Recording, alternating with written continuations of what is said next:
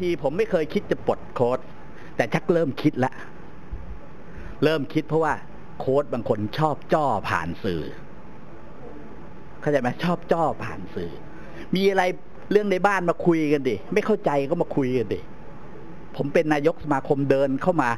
ผมเห็นใครก็เดินเข้ามาหา ผมได้ไม่ต้องเป็นโค้ดไม่หรือไม่เป็นโค้ด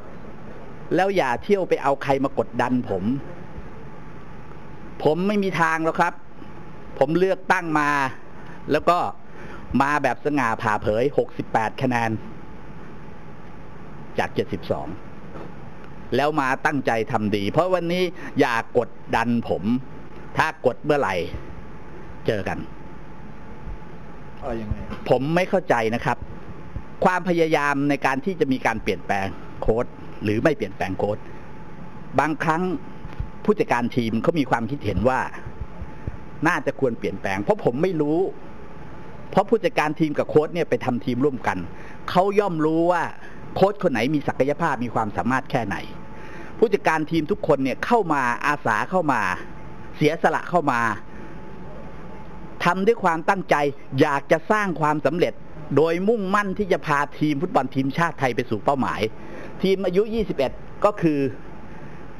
ไปเป็นแชมป์ซีเกม หรืออะไรก็แล้วแต่ ทีมอายุ 19 ก็มีหน้าที่ทำทีมชาติไทยทุกคนผมไปเชิญนะครับ ไปเชิญไปขอร้อง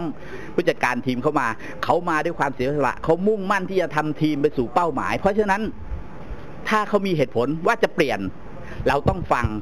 แต่ฟังหมายความว่า ฟังแล้ว อาจจะไม่ทำตามเขาก็ได้ ถ้ามันไม่มีเหตุผล ถ้ามันมีเหตุผลเราก็ต้องฟัง ณ วันนี้ถ้าเขาบอก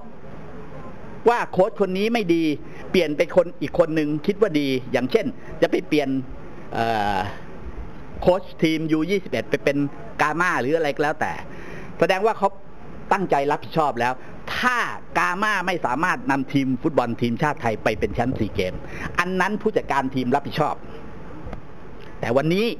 ถ้าโค้ดวรวุฒิบัคะออกมาประกาศว่า เต็มใจตั้งใจ แล้วผมให้เขาทำทีม แล้วถ้าทีมชาติไทยไม่ได้เป็นแชมป์ซีเกม วรวุฒิรับผิดชอบ ใช่ไม่ใช่ เพราะฉะนั้นผมลอยตัวสบาย วันนี้ผมมีคนรับผิดชอบแล้ว เช่นเดียวกัน U19 ถ้าคุณวรวุฒิเฉลิมวุฒิสง่าผลบอกว่าตั้งใจ ผมก็จะให้โอกาสให้โอกาสทำทีม แต่ถ้าทีมอายุ19 ไม่ได้แชมป์ เฉลิมวุฒิรับผิดชอบ ก็ผมยังไม่ได้เคยคิดเลยไงอืมว่าผมจะเปลี่ยนทั้งวรวุฒิทั้งเฉลิมวุฒิ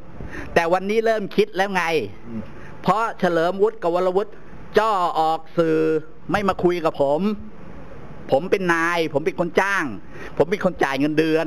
เพราะฉะนั้นคนปลดคือผม ถูกไม่ถูก เออ